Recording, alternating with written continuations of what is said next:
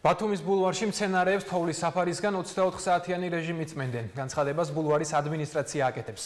მიუხედავად იმისა, რომ წაქცეული ათობით ხე დამტრეულია ტოტები, ბულვარის ტექნიკური ზედამხედველობის სამსახურის უფროსი ამბობს, რომ ამ დროისთვის მცენარეებს დიდი ზიანი არ მიდგომია.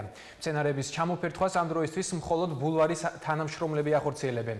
ადმინისტრაცია იმედოვნებს, რომ საჭიროების შემთხვევაში მოქალაქეების დახმარებასაც გამოიყენებენ. დიდი ზარალი როგორც საერთო ჩვევია დითოვნობას ამ ეტაპისთვის არ აგვაქვს. თავარია, ნუ რაღაც ყოველთვის ხდება მაღალტანიანი ხეები, რა თქმა უნდა, ტოტებით ხდება და ამ წუთას მიმდინარეობს მათი გაწმენდითი სამუშაოები. ასევე ამასთან ერთად პარალელურად ითხოვნება როგორც ხედავთ ხეები. ჯერჯერობით ვერებით ჩვენი ძალებით მაქსიმალურად ვცდილობთ რომ ყველაფერი გავაკეთოთ რომ მოვაროთ და რამენერად გადავარჩინოთ ეს ხეები.